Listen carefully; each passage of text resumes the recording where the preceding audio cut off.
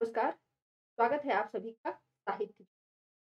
आज की इस वीडियो में हम लोग डॉक्टर राधा कृष्णन जी द्वारा रचित एक प्रसिद्ध रचना, एक प्रसिद्ध व्यक्ति के जिनका नाम आप सभी जानते हैं, सरदार वल्लभ भाई पटेल, जो कि हमारे भारत के लोग माने जाते हैं के जीवन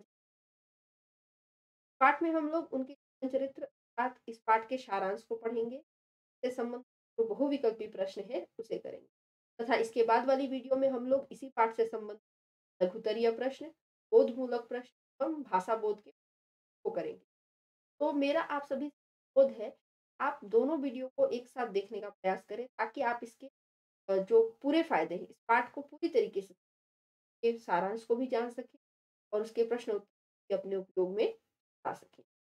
चलिए देरी ना करते हुए पाठ के सारांश को पढ़ना शुरू करते हैं।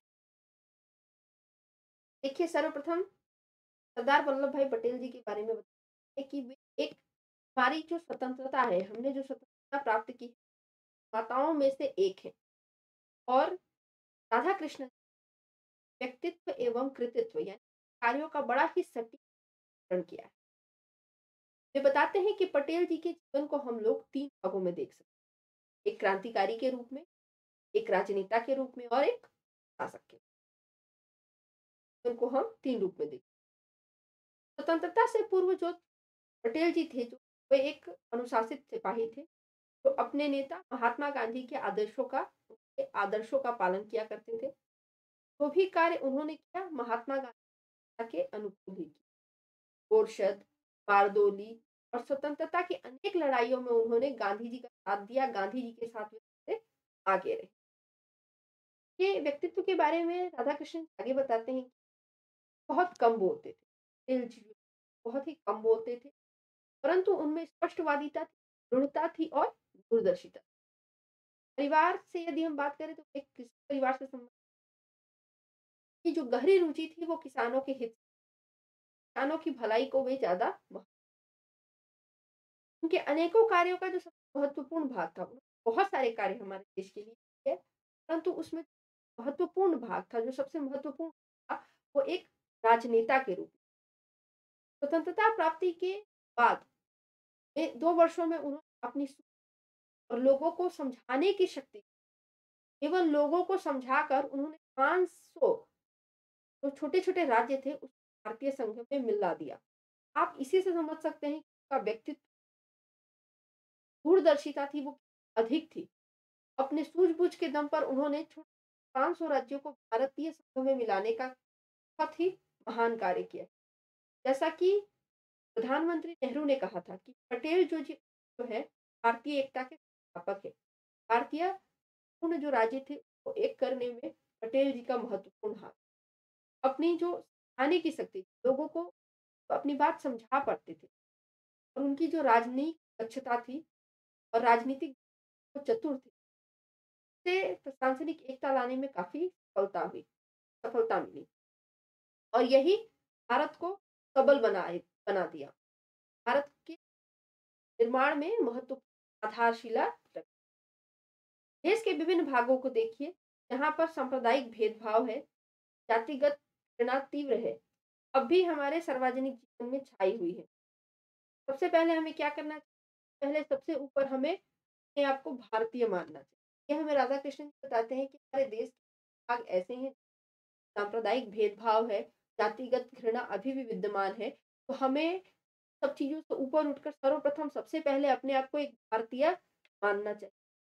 और इसी संबंध में पटेल जी की एक टिप्पणी है, पटेल बताते हैं ये इस कार्य को करने में पटेल जी ने बहुत महत्वपूर्ण योगदान दिया है और यह पटेल जी की एक ऐतिहासिक उपलब्धि है। की तुलना अधिक नहीं तो कम से कम मार्क से की जा सकती। जब उनकी मृत्यु तब लंदन टाइम्स ने उनके बारे में कहा था। ऐसा ही बात लंदन टाइम्स में कहा गया। इसके अलावा पटेल जी के बारे में बतलाया जाता है कि वे एक साहसी देशभक्त शासन में महान सूझ वाले व्यक्ति थे। मुझे याद है कि जब समय हमारे 3 महान नेता इन विभिन्न नगर पालिकाओं के में अध्यक्ष राजेंद्र बाबू पटना नगर पालिका के अध्यक्ष थे। हमारे प्रधानमंत्री यानी कि जवाहरलाल नेहरू जी इलाहाबाद नगर पालिका के और सरदार वल्लभ भाई पटेल जी जो थे, वो अहमदाबाद नगर पालिका के अध्यक्ष। थे। अहमदाबाद कहाँ है? गुजरात में। तो इनका कहना था कि हमें अपने मतभेदों को भुलाकर देश में पूर्ण संगठन और एकता लानी होगी। हमें अपने सामने मानवता के जीवन अंश के रूप में महान भारत के विचार को रखना होगा। यानी कि पटेल जी हर वक्त हर परिस्थिति भारतीय एकता को, देश को ऊपर रखते थे। इसमें संगठन की भावना को बनाए रखना उनका इस कार्य था। जब शासक के रूप में, जब वो प्रशासक के रूप में आए, गुजरात में बाढ़ आई थी तो उन्होंने बारदोली आंदोलन संगठित किया। उन्होंने उन सभी क्षेत्र जहाँ जहाँ कार्य किए, अपनी संगठन दिखलाई। किस क्षेत्र में कार्य किया है? चाहे वो एक राजनेता के रूप में हो, चाहे वो एक प्रशासक के रूप में हो, वहाँ पर अपनी क्षमता का क्या है, अपनी क्षमता में जो संगठन की भावना है, संगठन की है, उसको दिखलाया है। उन्होंने जब वे नगर पालिका अहमदाबाद नगर पालिका के अध्यक्ष थे, तब उसे आधुनिक बनाने में भी उन्होंने महत्वपूर्ण योगदान दिया। देखिए, जब तक हम गरीबी के राक्षस को, अर्थात जातिगत और सांप्रदायिक मतभेद के कारण को नहीं मिटाते, तब तक हम भूख, बेरोजगारी और बीमारी को नहीं कम कर पाते। तब तक अपने लोगों के जीवन स्तर को ऊँचा नहीं उठाया जा सकता है। ये बात पटेल जी का मानना था। पटेल जी का मानना था बहुत सारी मुश्किलों का बहुत सारी परेशानियों का जो मूल कारण है वो है गरीबी। गरीबी को हटाने के लिए सर्वप्रथम जातिगत और सांप्रदायिक मतभेद है, उसे हटाना होगा। जब हम उसे हटाएँगे, बेरोजगारी को हटाएँगे तो लोगों का जीवन स्तर अपने आप ही ऊँचा होता जाए हम सरदार वल्लभ भाई पटेल जी को याद करते हैं, आधुनिक भारत के निर्माताओं के रूप उनकी कर्तव्य निष्ठा, उनका अनुशासन, उनका आज्ञा पालन उनका जो साहस था और अपने देश के लिए प्राण उत्सर्ग करने की थी वो कई गुना अधिक थी और वही हमें अपने देश जीना सिखाती है। उन्हीं आदर्शों को हम देखते हैं। के बाद बताते हैं राधा कृष्ण के लिए संघर्ष के दिन और महात्मा गांधी के सबसे विश्वसनीय लेफ्टिनेंट गांधी जी के प्रत्येक शब्दों का वो कानून था और उन्हीं बातों को वे माना करते के अलावा महाराजा ग्वालियर ने जो गठन के निर्णय से प्रभावित हुए थे स्वयं सरदेर पटेल की दूरदर्शिता और कार्य की सराहना की। वे क्रोधित होते थे, लेकिन शायद ही कभी अपनी मानसिक खोया हो। सरदार वल्लभ भाई पटेल जी के बारे में बताया जा रहा है कि वे दूरदर्शी तो थे ही क्षमतावान तो थे ही, और उन्हें क्रोध भी आता था, परंतु क्रोध में वे कभी भी अपने मानसिक संतुलन को नहीं खोते वे दम्भी नहीं थे, अहंकारी नहीं थे, परंतु उनके हृदय में अतीत के प्रति गहरा लगाव था। और अतीत के प्रति उनके हृदय में प्रेम की भावना थी, भविष्य को वे जीना चाहते थे। लेकिन पुराने अतीत से भी नहीं रहते। अतीत को लेकर दुखी नहीं रहते थे। आवश्यक यह है कि आदर्शों से जुड़े सिद्धांतों को जाने और मूल सिद्धांतों को कभी भी न छोड़ें। अनुशासित आज्ञाकारिता के माध्यम से सरदार वल्लभ भाई पटेल जी ने स्वतंत्रता का उदाहरण सामने तो हमें यहाँ सरदार वल्लभ भाई पटेल जी के जीवन के अनेकों अनेक चित्रों को देखने को मिल रहा है।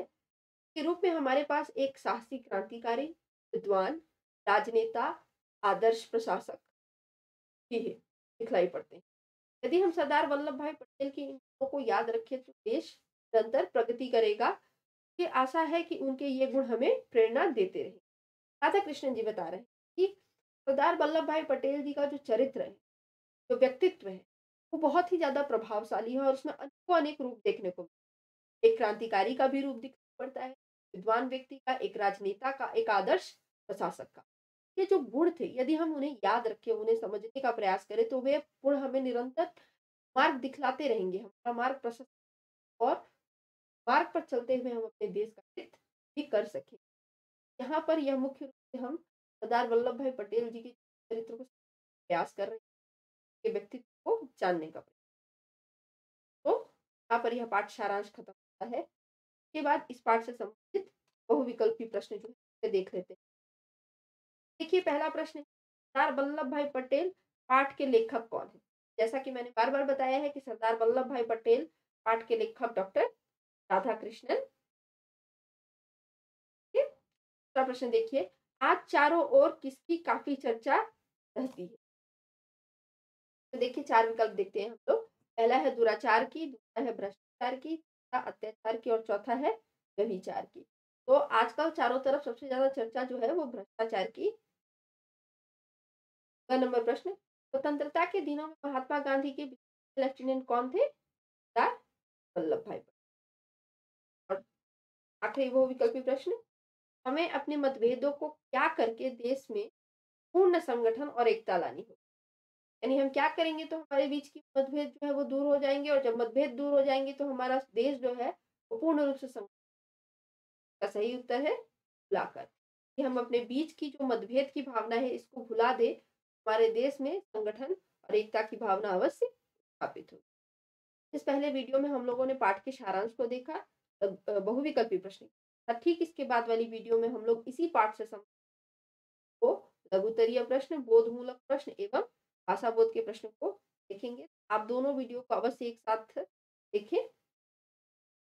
और आशा है कि यह वीडियो आप लोगों को अच्छी लगी होगी, आप लोगों को उपयोगी होगी। तो इस चैनल को सब्सक्राइब करना और वीडियो को लाइक करना